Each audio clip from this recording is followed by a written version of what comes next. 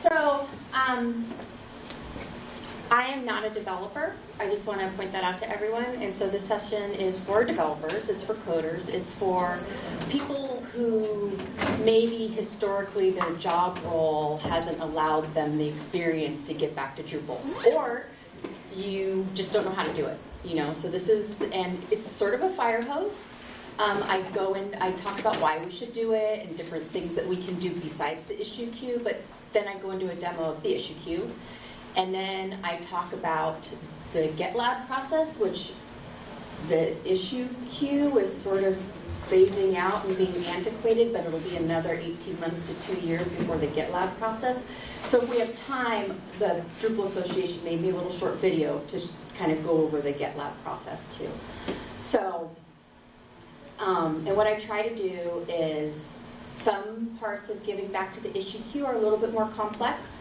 Um, but I try to do it in a way that's like looks really easy. That way you can go back and what I do is I put notes up later that have exactly the steps to do it. But I but I go through it like this is how easy it is. You know, once you learn it, it only takes 10 minutes, you know, that kind of thing. So it'll feel like a fire hose, but it's really easy, okay? So, um, who am I? Well, um, I'm going to sit down because it's really low. Um, my name's AmyJune, and it's titled Camel Case, so it's one word. Um, my preferred pronouns are she and, and her. Um, I'm an open source community ambassador for Kanopi Studios. And what does that mean? Well, that means I help promote our favorite CMSs. I do WordPress and Laravel and Drupal. Um, you know, give love to everybody. Um, so I work 40 hours a week giving back to the community, and so one of the things I do is I help with the outreach of how to do it and do trainings and that sort of thing. And then if anyone has questions, like I am a good resource to ping in the Drupal Slack channel. Like if you're having a hard time doing something, I have plenty of time to help folks contribute back. So um, let's see. Um, I also organize A11yTalks, which is an online, I don't think that's up on the slide. It's an online virtual meetup that we have every month where we talk about all things accessibility, and that's kind of fun. Um, I'm a mom. I, in my previous life, have been a hospice nurse, so I have a, like a little bit of a range of activities. Um, I like reading comics. I like geocaching. I like mushroom hunting, and I really like their cool Volkswagens. So. Um, Kanopi Studios, they sponsor my time, um, and they're an open source website agency. They do everything from strategy, design, development, and support. So we do the whole gamut of things. Um, and we try to work on websites that are open source that make an impact, like lots of higher ed and nonprofit and that kind of thing. So, government. Um, who are you guys? So, who's a project manager? Okay. Um, agency owner? Anybody? Coder? Okay, developers, yeah. Um, who's in sales? Designers? Okay, well, that's okay. Um, so anyone can get back to Drupal. Um, all skill levels, all job roles. Um, all you really need in, is like a passion to give back. You know, that altruistic sense of it's a project we use and we should move it forward. You know, so um, the more tailored the Drupal project is, the easier it is to sell to future developers and the easier it is to sell to our clients. You know, the, the, the, the forward-facing Drupal project is really important when we go to sell Drupal as their CMS, right? So, um, what are we going to talk about today? We're going to talk about why we should contribute. I'm not going to give you guilt trips, but we should just do it because that's the right thing to do. Um, the benefits of contributing. We're going to talk about how to start contributing, not just the issue queue, but other things that we can do as people in the community that don't involve code. Um, how do we keep the contributors we already have because we do face contributor burnout? Um, and how do we foster new contributors? And then last, we'll do a demo where I go over anatomy of an issue. And then if there's time, because it is sort of a fire hose, and I'd rather take a little bit more time and do a demo. So if there's time, we'll, we'll watch that little short GitLab video. And GitLab is basically the new tooling system which sort of parallels GitHub if you have a GitHub workflow where there's pull requests and inline code editing and that kind of thing. So, so why do we contribute? So not everyone who works on the Drupal project is a senior developer. Uh, there's all kinds of smaller tasks that help people increase their confidence and gain experience, which in turn leads to more contributions. The more you contribute, the more you accidentally learn how to code, because that's how I kind of learned how to code, was just the more things I was in um, helped. Um, the code is really important, but um, so are all the other parts. Contributing back to Drupal helps us all become better developers. A more polished Drupal leads to a better overall experience, like I said.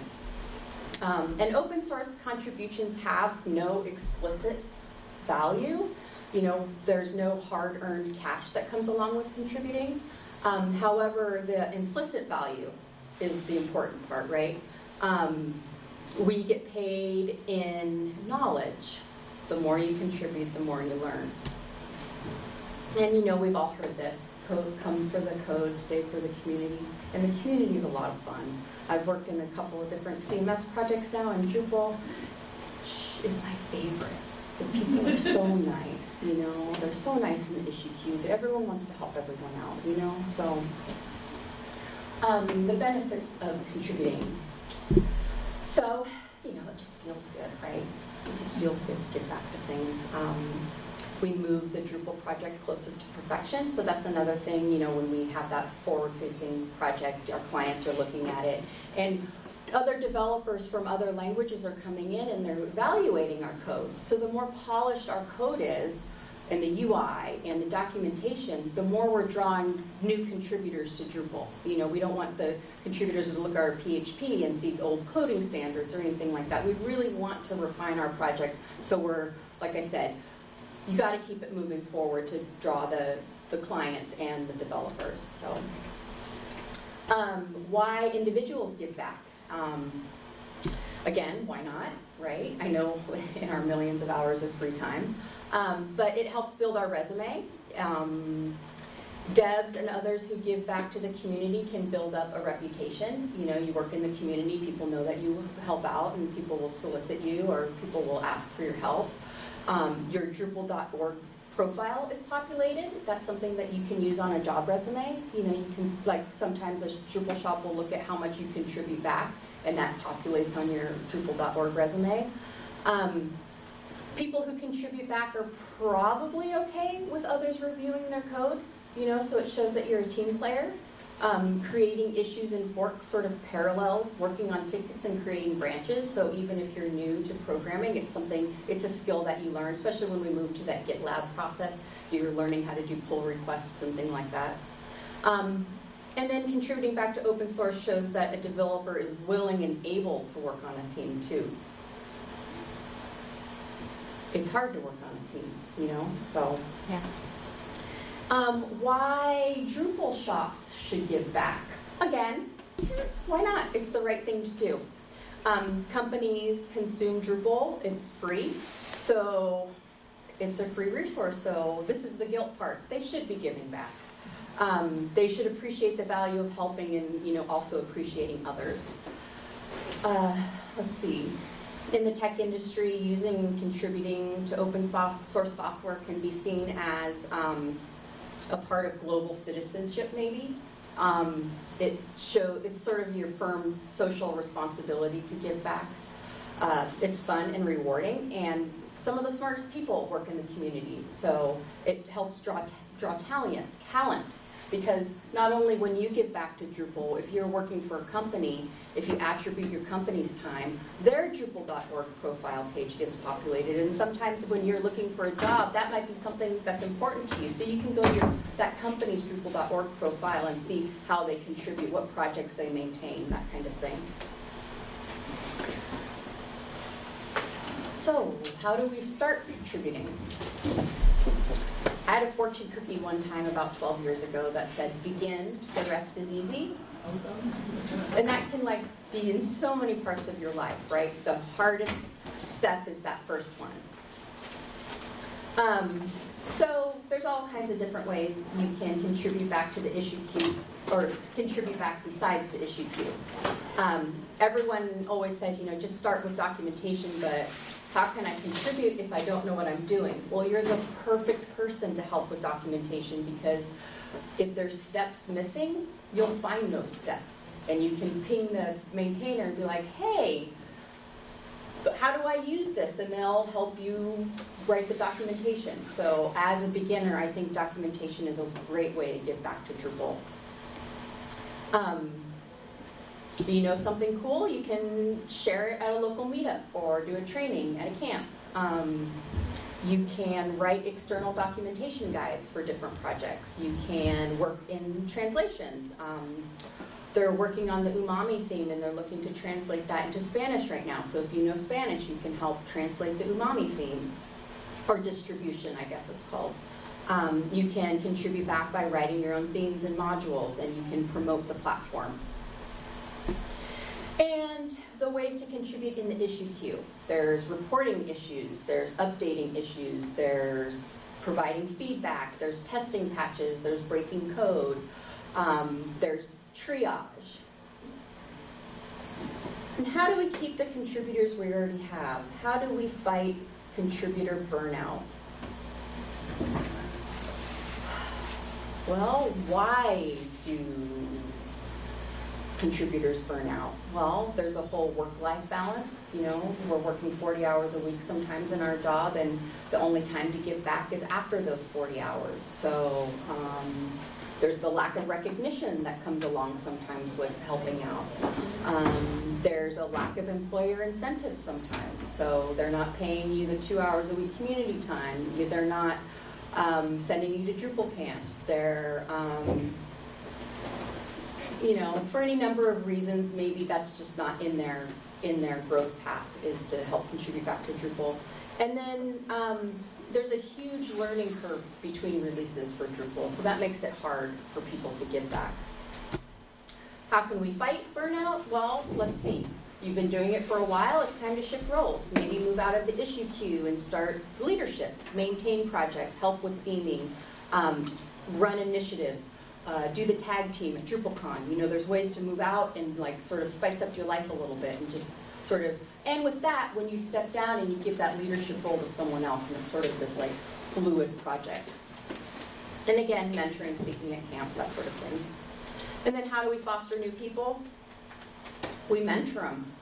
We do community outreach. We get our high school students to be into Drupal. We help, we help high schoolers build apps like D&D character sheets and trick them into learning Drupal, right? And we mentor them along the process. Or so. middle school kids too, right? That's right.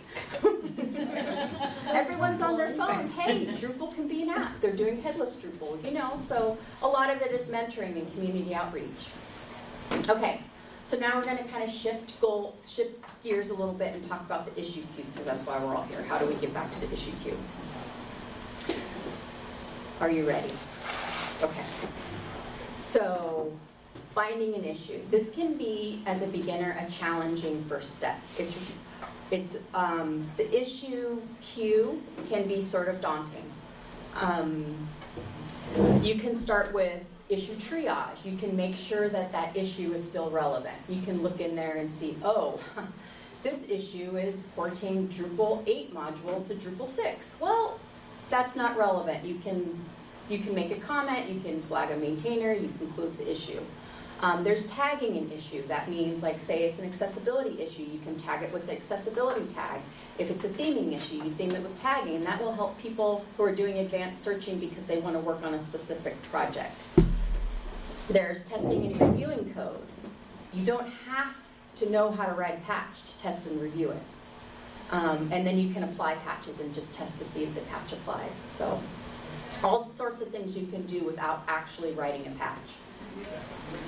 And how do you choose what to work on? Well, one of those tags is novice, so you can uh, choose based on your skill ability. Tagging, interests, you can work on an area of your interest. And another thing to look at is, is the issue actively maintained? So you can see here that this issue, August 31st of 2018, that's, that's pretty maintained. But you know, you might not necessarily want to jump into your first project being an issue from 2015 and no one's been, you know, the issue queue is full of old old issues and bugs, and the maintainers aren't just they aren't fi- fixing them. So, working on an actively maintained project is, is, is a good way to start.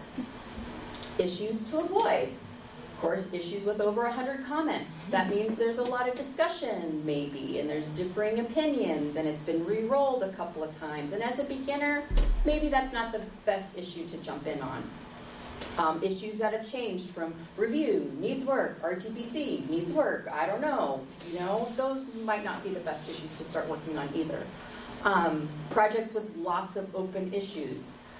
That's sort of one of those signs that the maintainer maybe isn't actively involved. That's not the only, that, that might not be what it is, but as a beginner, like I said, sometimes just working on a project that's pretty maintained, it's got one or two or maybe 20 in the queue.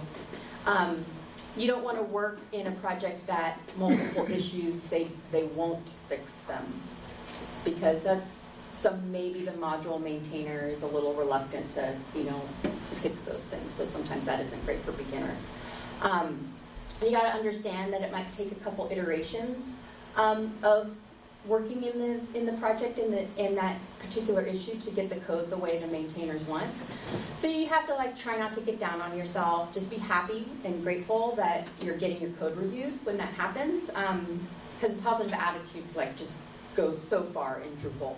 And if you show enthusiasm to learn the code base and work with the maintainers and help others and add value, then others will see that and they'll give you the benefit of the doubt when you're working in the issue queue. And when I was first working in it, I was, oh, I, it's a, a little bit of imposter syndrome, but I clarified that I'm a beginner. I'm open to suggestions, but I found this bug sort of thing, and here's what I propose. So sometimes indicating that you're open to suggestions is a really um, a really good thing to do in the issue queue.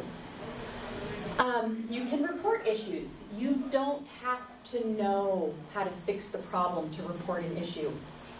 you don't have to be a developer to you, you, you don't have to do a lot of things to report an issue, but reporting an issue is a good thing because it flags that the module needs work you know and um, sometimes if you work if you just report the issue and monitor it because when you report an issue, every time someone comments on it, unless you unfollow it, you'll get an email like with the feedback. So you can learn how the, those people fixed that issue that you reported, just for the knowledge base. And what kinds of issues are worth reporting? Anybody? All. All of them. That's right. So client-facing errors and bugs are just as important as the code. Um, making sure the project looks good to future um, clients and users ensures the future of the project. I mentioned this before. And you know, all of them, UI errors, documentation, accessibility bugs. And again, you don't have to know how to fix it to report it. A good thing to do if you find an issue is to search the queue first to see if the issue already exists. Um, if it doesn't exist, you know, um, reporting the bugs is important because if we don't, um, if we don't report the bugs or make notes on how to reproduce them, like say say the issue already exists, but there isn't a lot of notes on it, you can go in there and edit the summary or add steps to reproduce and help that issue like be a little bit more valuable to somebody else. Um, you, um, especially steps to reproduce. That's that's that's a good thing to do if that's not already in the issue and you and you found it because you've just recently it's in your brain, right? And that helps someone who's reviewing the code later to test it if they know exactly how to break it in the first place. Um, anatomy of an issue. So when we create an issue, and we'll go over creating an issue, there's certain things that you should um, make sure that you address. Um, the category, that, and I'm going to show you an example page of it. Um, is it a bug report? Is it a feature request? Is it support? Is it documentation? Um, how important is it? What's the priority? Is it critical? Is it a, is it a game changer? Is it a, a blocker? Um, is it just like a little typo? Well, not just a typo. There's no such thing as just a typo. But if it's something small, you know, in the documentation, you mark it minor. Um, the status is important. Is it active? Does the does the issue need work? Um, did you review it? That's RTBC, which is reviewed and tested by the community. You tested the patch. You saw that it worked. Um, is it fixed? The version of the module or project that you're using is important to indicate because not all bugs go from version to version. The component that varies on the project what, what metadata is provided. It could be UI, it could be documentation, it could be code, it could be the sub-modules, it could be tests, and then the tags. You know, if you're reporting an issue and you, you know that you can tag it, that's a pretty handy place to do it. So this is the issue. This is the metadata. So the title, we want a succinct and clear title. We don't want a long one because that, that might be confusing. Um, here's the category. You know, is it a bug report? priority, the status. Usually when you report an issue, you just leave it as active when you first report an issue. We have the version number. And the component changes from project to project. That's something the maintainer can put in there. You can choose which, which components to put in there. And the assigned button, now that depends on who you talk to. I recently heard that if it's a core issue, don't assign it to yourself they'll assign, the core maintainers will assign it. But what I do for contributed modules is if I know I'm gonna, I reported the issue and I know how to fix it, I'll assign it to myself and that alerts someone that I'm gonna work on it in the next day. But say you got distracted and something happened and a project of yours blew up, be considerate and change that back to unassigned unless, and make a comment saying, oh, I, I don't have time to work on this. Or maybe make a comment that you do have time. Because we don't want to double our efforts and have two people working on the same thing at the same time. So communication is key. And then here's the here's like some examples of what you can do for issue tags. You know, what I do is when I come to a camp and I'm doing a sprint, I'll tag it with a with a camp. So if we're all working on something together, we can pull up issues. So, um, was that the same thing? Yes. Okay anatomy of an issue again. So we're going to talk a little bit about a browser extension called Dredditor. I'm just going to mention it now, but I am going to show it, and I am going to talk about it more in a minute. What it does is it adds some buttons in the issue queue when you have it enabled on your browser. And one of the things it does is when you create a summary, it will in inject these headings. And so you can fill out the problem and motivation. And what will happen is you will want to do steps to reproduce the ex expected results, the um, the actual results, and then you know proposed resolution, remaining tasks, UI. So what happens is when you hit the button that says enter template, it gives you this information and then you just go in and you fill a lot of these out. And a lot of times, I have to admit, I put not applicable because a lot of these, you know, I'm not making any interface changes, I'm not changing the API, I'm not doing any data modeling, you know, but it's a good, especially if you're working in core, they sort of like you to do this and it reminds you of the things that people might need to have when they reproduce and work on the issue. You know, platinum. It's all, you know, better, the more information you give people, the easier it is to, to work on a project. So I'm going to talk about writing a patch. Writing a patch is pretty easy. There's only a few steps. We download the repo. We fork it and create a new branch. We make changes. We compare the changes and we make the patch from the comparison and then we ship it back up to Drupal.org and make a comment. Now that's a really simple way of looking at it, but those are actually the only steps it takes to create a patch. Reviewing an issue. Reviewing an issue is a great place to get started in the issue queue because you don't have to know code to test a patch. You don't have to have a local environment to test a patch. There's a project called Simply Test Me that creates and spins up sites online for you where you can, there's a, there's a user interface that allows you to have certain like features like what version of the module are you working on, where, what's the patch's URL, and I'll show that too. Um, you can just test it locally in your Git repo to see if it applies. You know, especially for documentation, you don't need to spin up a Drupal site to test documentation, but we want to know that the patch applies. Um, You provide useful information, you attach screenshots, you update the status. So again, it comes back to like, the more information the next person has, the better. So, reviewed and tested by the community, and then we call that RTBC. And this is when you're done with a patch and you've decided, you know, it applies and it's done its job. So we mark it RTBC. And this is one of those things where we just change the status. We don't need to change any of this other stuff except for maybe, you know, if we had assigned it to ourselves.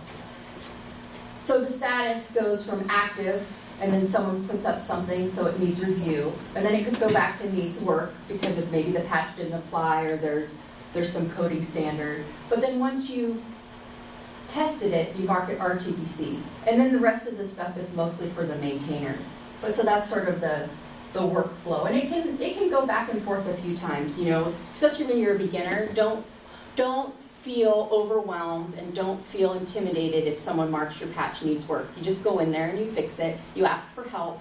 You know, you just make sure that you have the information you need to make that new patch. And like I said, lots of project maintainers or people online, if you have issues, they'll help you work through those, you know, and like help you create an inner diff, which compares the two patches you made. You know, there's all kinds of things that go along with it that seem hard, but once you ask people questions, especially in Drupal Slack, there's a few channels. There's like a contributed channel, there's a mentoring channel, um, there's a general channel where most people are real rece- receptive to, you know, um, beginners because we all want, we all want to move the project forward, and you know, getting the new blood in there really helps. Um, so I want to talk about Dredditor when we're testing patches. If we didn't have this Dredditor extension, looking at a patch can be kind of weird because it's just this white file and there's pluses and minuses and you can't tell what changed. So Dredditor injects this review button and what happens with the review button is it opens up the UI and I'll show a picture of that. It also gives you a Simply Test Me button, and I'll show this. The Simply Test Me button, you click on that, it takes you to the Simply, Simply Test Me user interface, and it populates it with your issue information. So it's really handy. And this is when you click on the review button, this is what pops up. So instead of looking at this white page with a bunch of pluses and minuses and you can't tell what changed, what it does for you is it tells you what lines were taken out and how they were changed, corresponding line numbers.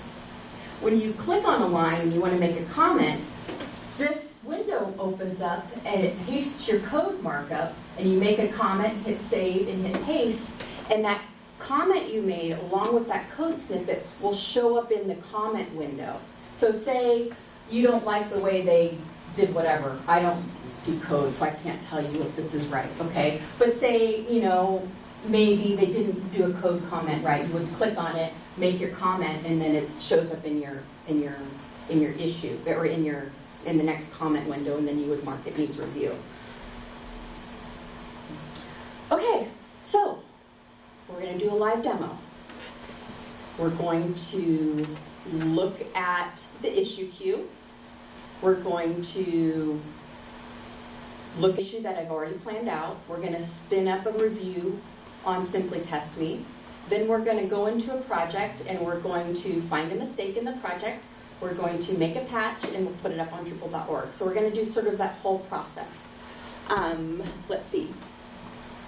As far as the patching process, we'll find a problem. We're going to download the repo onto our machine.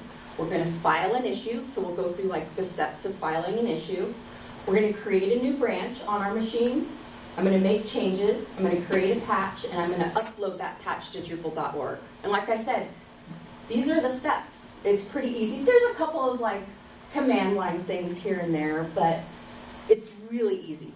So what we're going to do is I'm going to navigate to my Drupal.org profile, and I'll kind of show you this.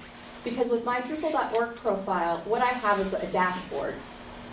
So when I go to my dashboard, you can configure your dashboard to have certain blocks. So I've configured my dashboard with things that I use every day. I have security updates because I do some security stuff. I have my contributor links. I have a core link. I have a Drupal block, a Planet Drupal Planet block. And then I have a block where it's all the issues I work on. So what I can do is I can look at this because you get an email for each issue you've commented on. And sometimes if you're in the issue queue a lot, you can wake up in the morning and there'll be like 50 emails. And I have to admit, I ignore those. So I just go here and I can see what was done the night before and like if I want to work on that project again. But most importantly, there's this contributor links. And in here, what's nice is there's a novice button. So you can click on this and it will take you to the, all of the issues that were mar- marked novice in the issue queue. So let's talk about the way this looks. Okay, the color's a little funky, but they're color coded. So when they need work, they're red. If it needs review, they're yellow. If they've been reviewed and tested to, by the community, they turn green. So this is a good thing. Say you're like, oh, I'm just going to look at patches today and review them. You can just go to these yellow ones. And you can see here when the last comment was made, how many comments were made and like how many of them are new. You can see what version you're working on. Um, this is the project, so you know you can see that Drupal core is specified versus the, the contributed projects. So that's sort of the anatomy of the issue queue. And let's see, up here you can change this, so you can delete this. And what happens is, let's see,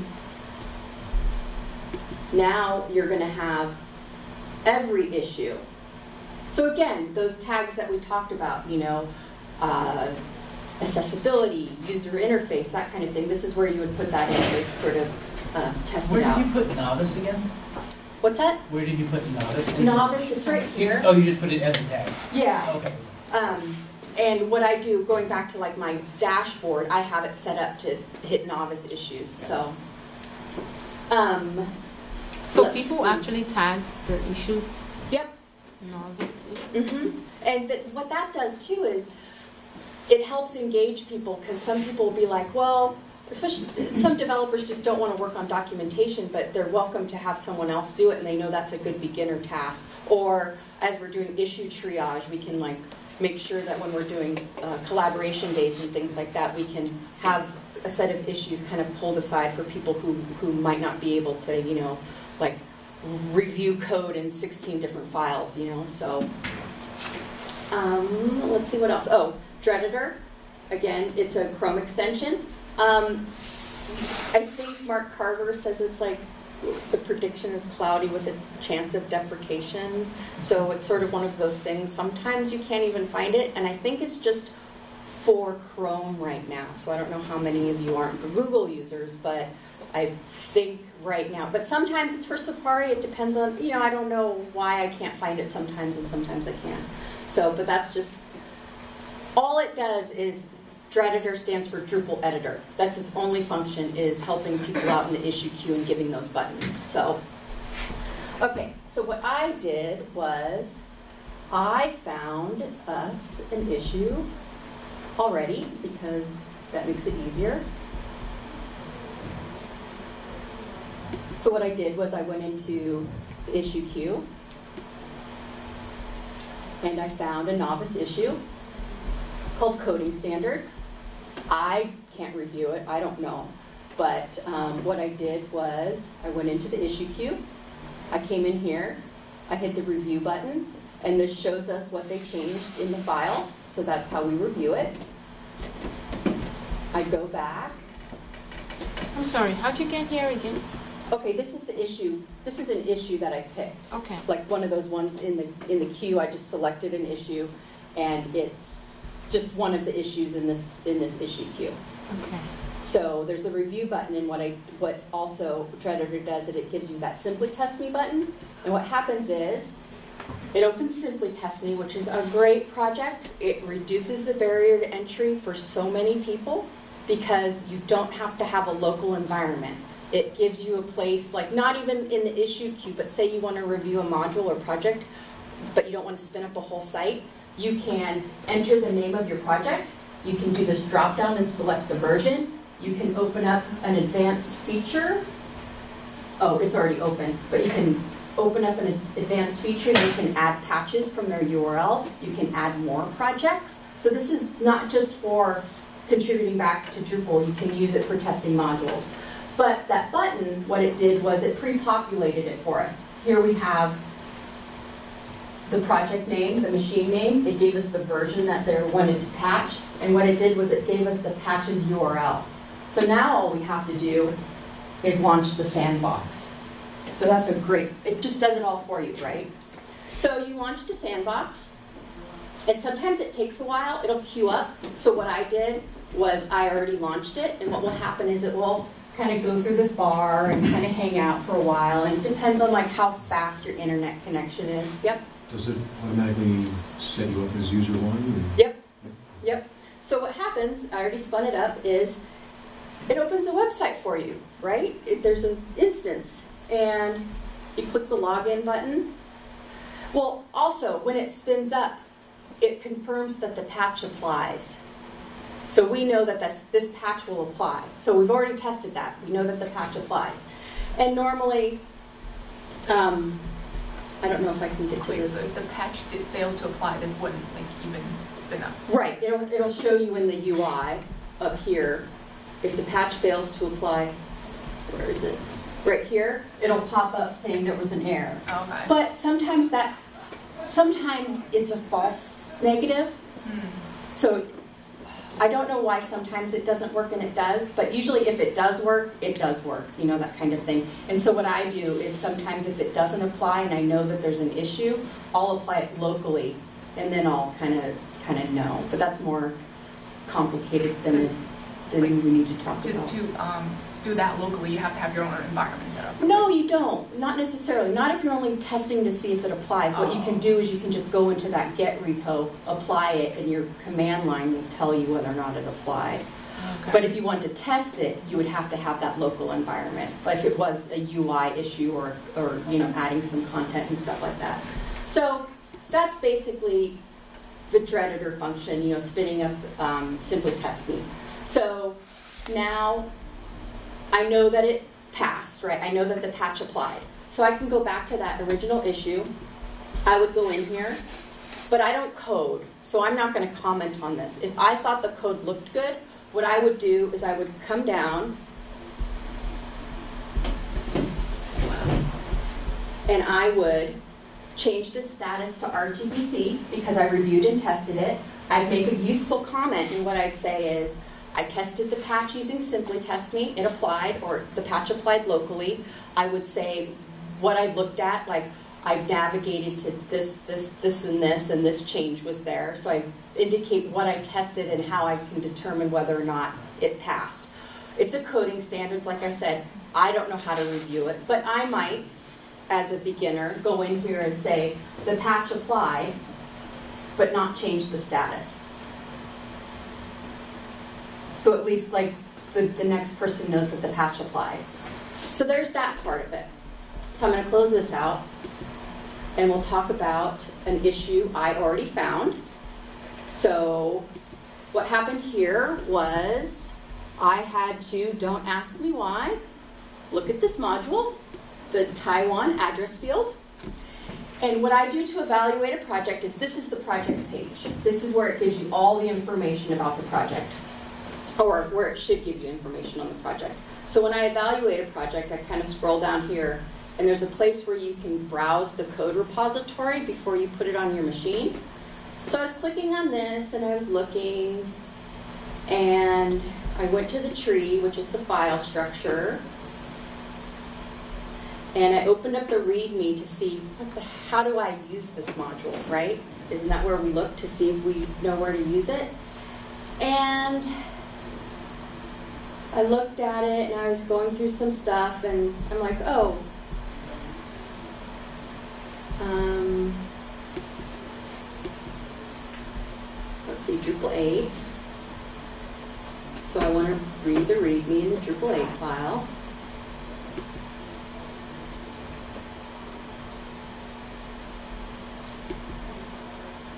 and I'm scrolling down, and I noticed this is a Drupal 8 module. I noticed that this line is wrong. It leads to a Drupal 7 link.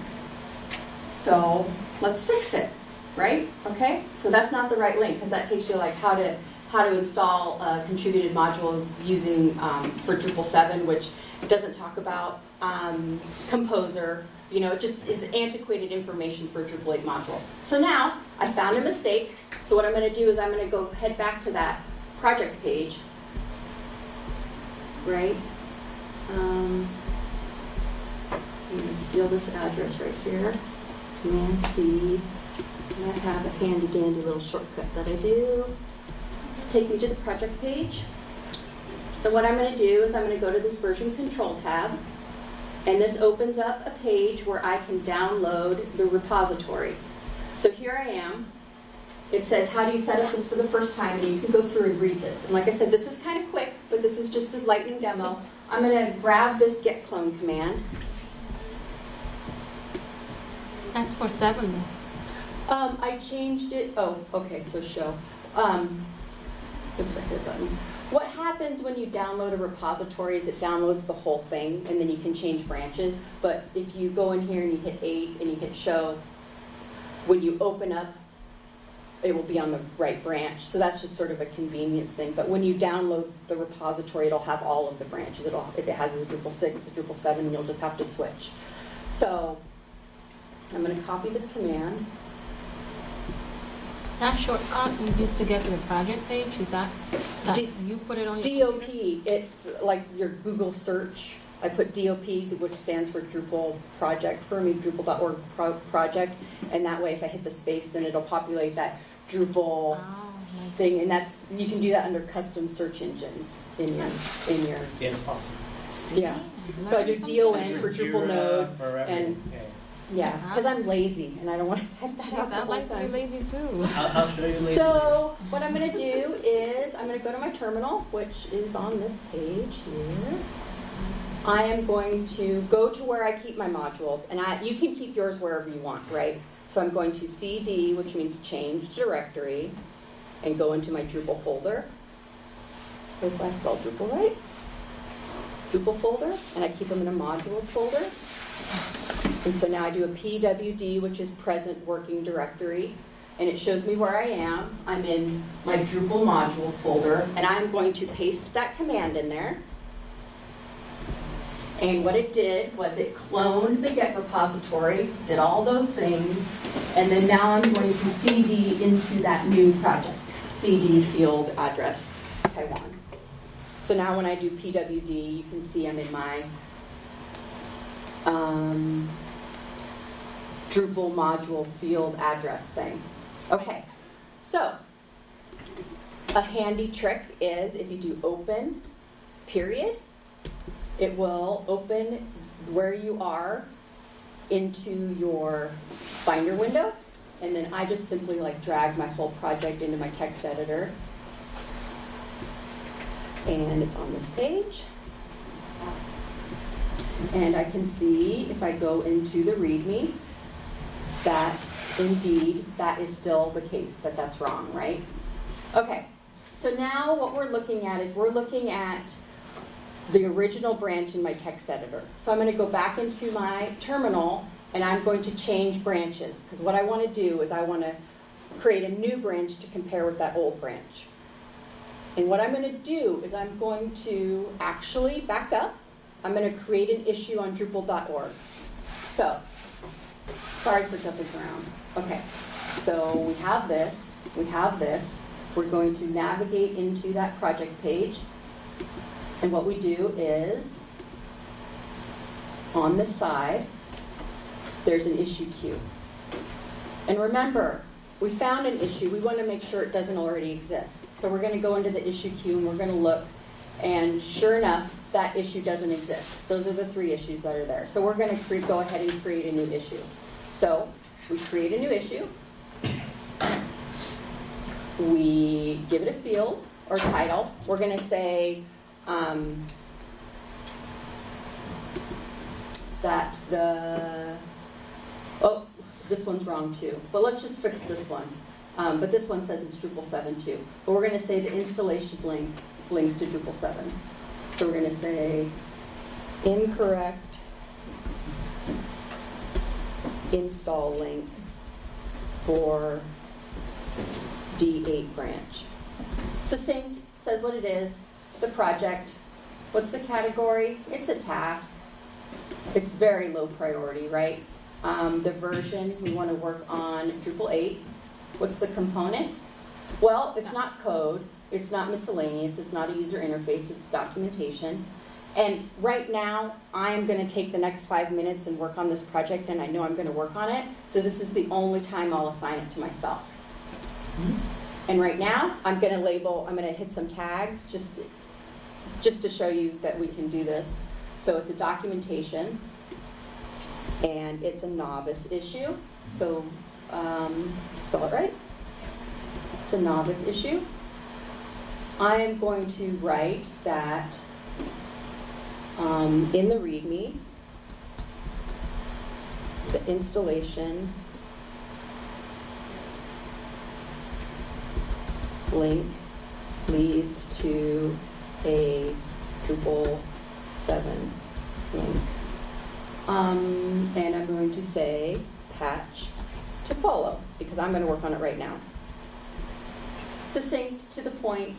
I'm going to come down here and I'm going to hit save. And what happens when you create an issue on Drupal.org is it creates a unique node.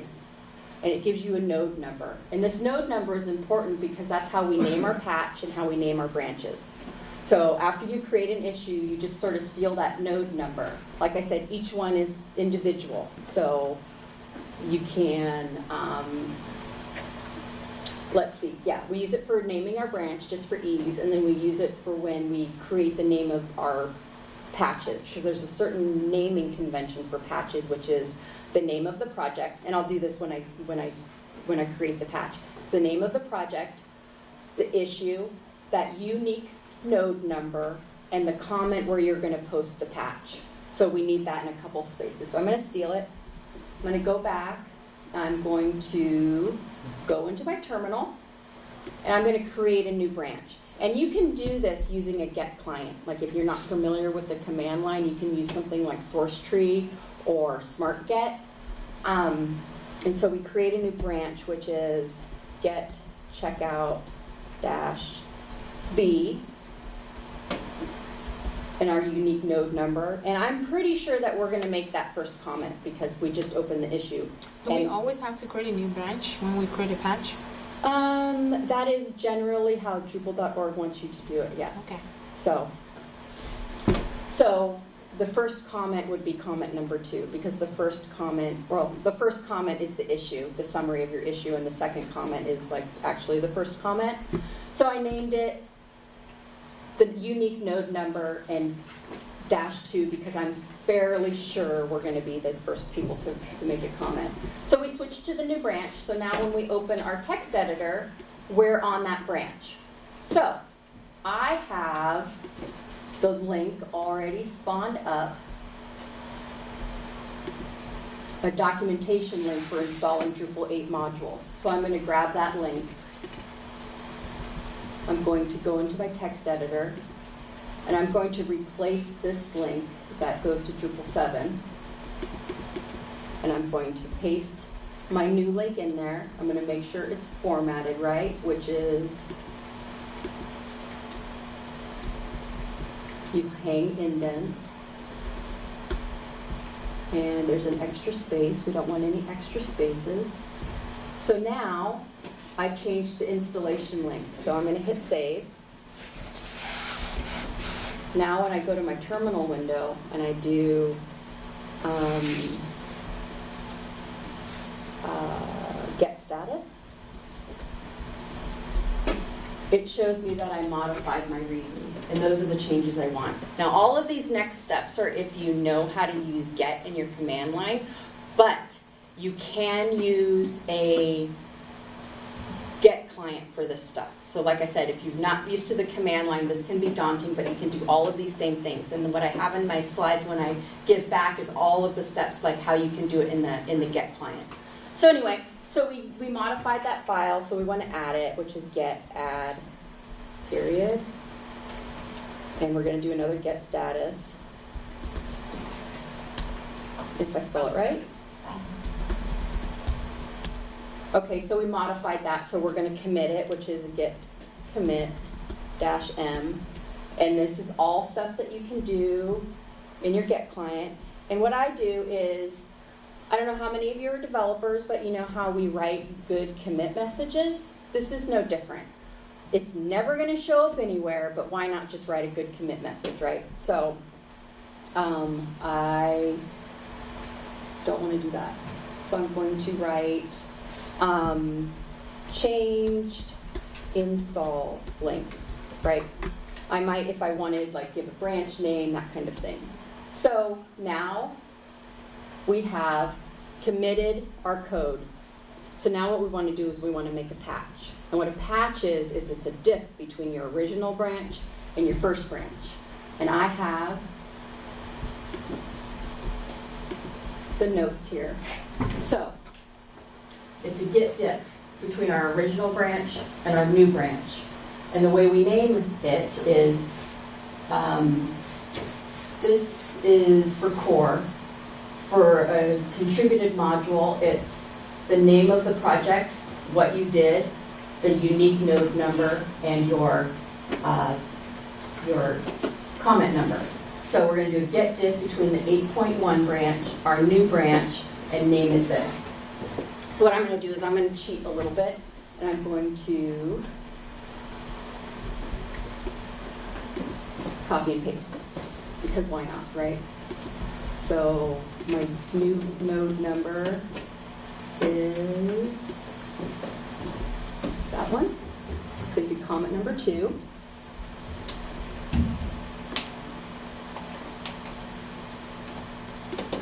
What's the importance of like the comment numbers?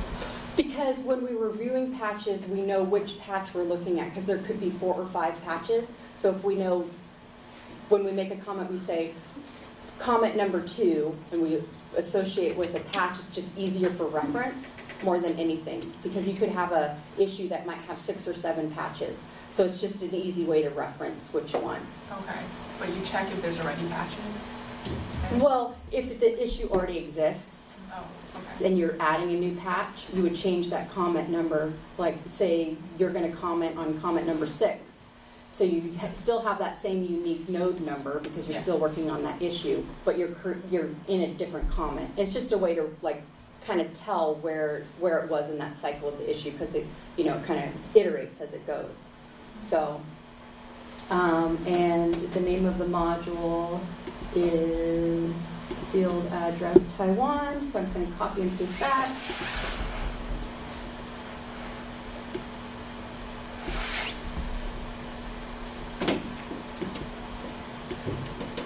Okay, so what I have is, I'm going to do a git diff between that original branch, my new branch, the name of the module, what I did, I'm going to add a dash there. What I did was change the README, the unique node number, and the comment number. And the reason why I iterate this is just for muscle memory, right? Because, you know, it helps me too. So, then a dash. So, we're just gonna copy and paste that command. We're gonna go back into our terminal, and again, you can do this in your git client, and the git client is really easy because there's a button that says format patch, and it does all this for you once you have all those other steps done. So we'll apply that, and so now I've created a patch. So, where is the patch? The patch is in my Drupal folder, my modules, in my field address Taiwan, and there's my patch, right there. So that's where it is, just for reference. So now, actually, I'm going to open it so we can look at it. And without the Dredditor button, this is what it looks like. I've changed this line, and I've added that line. Those, that's the only thing I did. And I kind of like to do that for confirmation. There's nothing else we changed in this, so there should only be two changes. I did a little bit of reformatting, and that's why there's the second minus sign. So, there's our patch. We can close that and go back to our go back to our issue queue. And this is the exciting part. We can change this to needs review. I'm going to unassign myself. I'm going to comment that I uploaded a patch with the fix. Now, this is pretty easy. Like, if it was a more complicated patch, you would say exactly what you did, steps to replicate, that kind of thing. So, you can come down here and choose your file, which is in my Drupal modules. What was the name of this project? Field. Address, Uh, Field address. Okay, and there's my patch. And there's another little preview window too. I don't know if you could know that, but if you select something, you can see your preview window just to make sure you have the right patch. Open it. If you want to test it, you can hit do not test. You can hit do you want to test it on the seventh branch? Do you want to test it on the eighth branch? We're going to upload it. And we're going to hit save.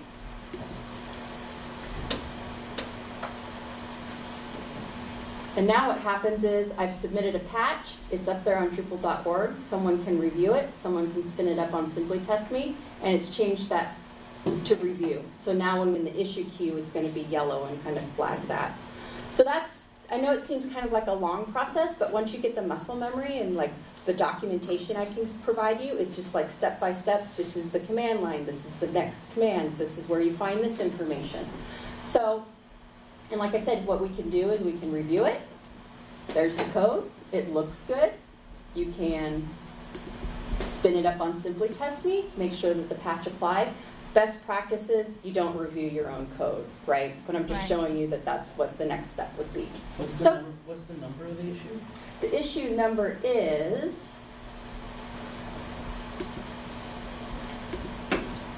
three zero three zero two nine two. Do you want me to repeat it? Nope, got it. Okay. Sounds like he's gonna review it. Good So anyway, practice. That's basically it. Like I said, it's sort of a fire hose, but um, I think it's pretty easy. And then we have like two minutes. That's perfect timing for the GitLab process. So I want to talk about that a little bit. Unless you have questions about this. Um, so You, do you want to, want to continue recording or? Oh, I never stopped because I didn't mirror my screens. I Okay. decided not to do that and do the, Okay. Sure. the craning the neck and not being able to see it. So, Yeah. um, so why are we moving to GitLab? This is a good question. Um, the Drupal Association began the search um, a couple of years ago because one of the major reasons is we wanted to modernize our tooling. We're sort of falling behind in the development world by still patching. So we're adopting a developer workflow that most of other communities are using. Um, we're, presu- we're preserving the unique elements of how we collaborate um, by keeping things like the review button and inline code editing and stuff like that. Um, we wanted to uh, sort of leverage an expert partner. And like I said, most of the reason is because most of the Drupal or the communities outside of Drupal are already doing this sort of inline um, editing and, and reviewing that way. So, and they were nice enough to make a little video, and I think that it might be hard to hear because I think it just comes out of my screen, but it's real short. The Drupal Association is pleased to announce a partnership with GitLab to update the development tools on Drupal.org. We'll be rolling out this project in three phases. In the first phase, we'll be integrating GitLab's code viewing and code review tools into Drupal.org. As you can see here, you can view commits in the GitLab interface, scroll through the diff, and add comments. In the second phase, we'll be enabling merge requests and inline editing. In this example, you can see a new branch being created from the Drupal.org issue queues. This branch will be made available for collaboration in the GitLab interface by multiple Drupal contributors. In this first example, you can see a user navigating the branch to edit a file without having to own a local copy. These edits can be committed back to the branch, and a comment will automatically be posted to the issue queue indicating the changes that were made. If another user wants to make changes, they could open another branch, but because Drupal prides itself on collaboration and single-threaded contribution, they can also work on the same branch to continue the work of the initial contributor.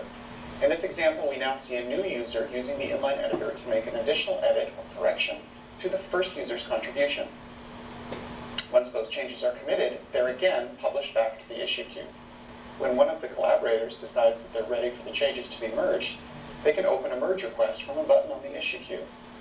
This merge request is automatically generated in GitLab and available for review by other collaborators or by the project maintainer. Again, a comment is automatically posted to the issue queue to notify all followers that a merge request has been opened. The next step is for the maintainer to review the issue. When the maintainer signs in, they can view the merge request from the link next to the branch name in the issue, and when they decide the code is ready to be merged in, they can simply use the merge button in the GitLab interface. If necessary, they can revert the merge from the GitLab interface, or they can go to the issue to see that a final comment has been automatically posted indicating that the changes have been merged. This completes the cycle of contribution using the Drupal.org and GitLab integration. In the third phase of this initiative, we'll be evaluating additional features like GitLab's Web IDE, contribution graph, and CI and CD pipelines. All these changes are coming soon, so keep an eye on the Drupal.org blog.